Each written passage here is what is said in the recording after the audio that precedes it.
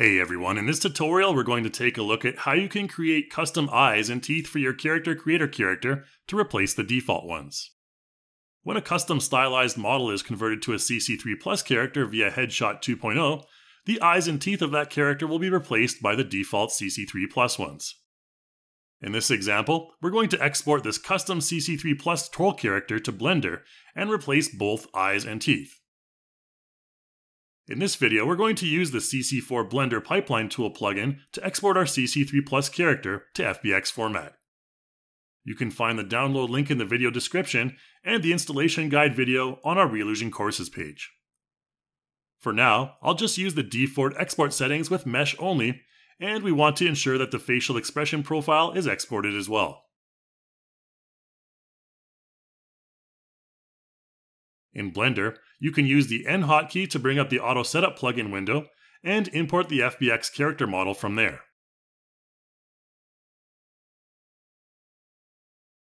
Let's first take a look at how to replace the eyes. In the outliner, you can see the CC base eye and CC base teeth meshes that we need to replace. I'll start by importing an FBX I've already prepared that contains the custom eyes and teeth meshes. From there, I can use the orthographic views and move the eye mesh into the correct position. Using wireframe mode and hiding the body mesh makes it easier to get the positioning right. Once the position is set, we need to reset the origin and initial coordinates. Make sure the eye mesh is selected, then right click and set the origin to the 3D cursor, which currently sits at the character base. In the transform section, the values are not yet zeroed out, so let's press Ctrl A and select all transforms to deltas, which will set all of the transform values to 0 and scale to 1. Next, I want to parent the custom eye to the troll mesh. To do this, I'll select the eye mesh and troll skeleton, then use the Ctrl P hotkey and choose with empty groups, which will set the custom eye mesh under the troll group. The next step is to bind the weights to the skeleton, so let's start by hiding some of the extraneous meshes and only showing the eye mesh. I'll then select the troll skeleton and in Object Data Properties, set the view to display the skeleton, clicking on the In Front and Names options. From there, I'll select both the skeleton and eye mesh and go to Weight Paint mode. Here I want to hide the body mesh and start by holding Ctrl and then left clicking on the CC base left eye bone to select it. The weight value for the entire left eyeball mesh should be set to 1 as we don't need any mesh deformation here, just complete control via the left eye bone.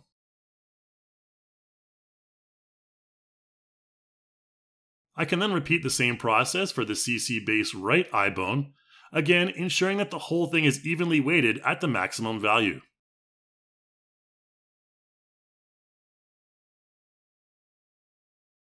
I'll then return to object mode and select the skeleton, then change to pose mode and rotate the bones using the R hotkey to check the result.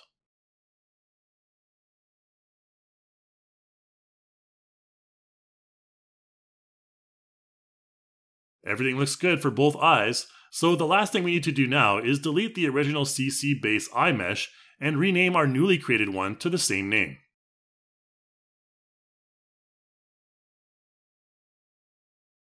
That's it for the eyes, now let's move on to the teeth. As with the eyes, we want to start by positioning the custom teeth to the appropriate place in the character's mouth.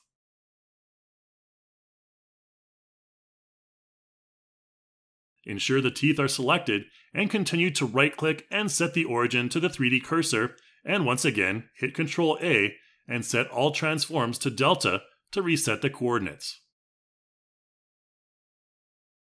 Finally, parent the custom teeth to the troll skeleton once again. Painting the weights is a bit tricky for the teeth due to their more complex overlapping mesh. As you can see, if we go into weight mode and hide all of the other parts, the teeth overlap. Let's go into edit mode then and use the L hotkey to select the upper mesh and H to hide it. I'll do the same for the other individual original bottom teeth as well. After that's done, we can return to weight draw mode, hold down Control, and then right click to select the CC base teeth 02 bone, and continue to paint the entire mesh to a weight value of 1.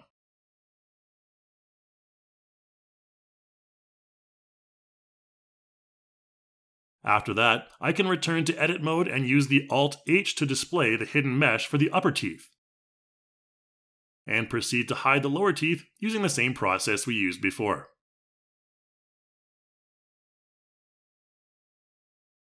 Simply repeat the weight painting process by going into weight mode, being sure to select CC base teeth 01 this time, and paint it all to the max value of 1. Once again, let's head into edit mode to display all of the hidden meshes, and then proceed to head to object mode, select the skeleton, and then go into pose mode to test out the weighting results.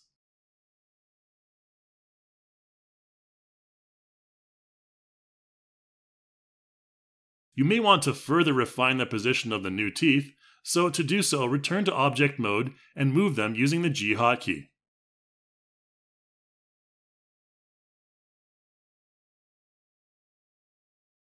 As with the eyes, we want to rename our custom teeth as CC base teeth and delete the original mesh. I'll also go back and rename the materials for the teeth and eyes consistently so CC can detect them more easily.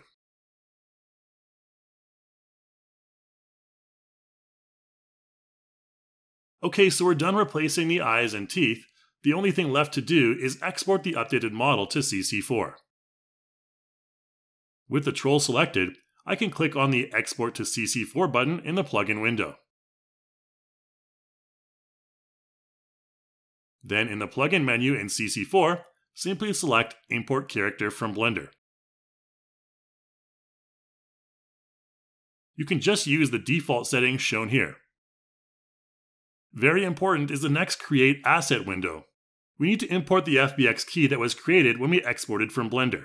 The FBX key is used to ensure the integrity of the CC3 Plus character data, and it will be generated whether we export from Character Creator or Blender when using Auto Setup. In the Asset Import Status Report window, you'll see that the eyes and teeth are recognized as not compatible since they are completely custom. As long as you've tested the weighting and positioning in Blender, you won't have a problem here though. Once that's complete, you can use the Edit Facial tool to test out the eye and teeth rotation and movement results. You can see that the weighting is just fine. The body motions work just fine as well, so we're good to go. That's it for this tutorial, guys. We encourage you to get creative with your own custom character features. Thanks for watching, and I'll see you in the next video.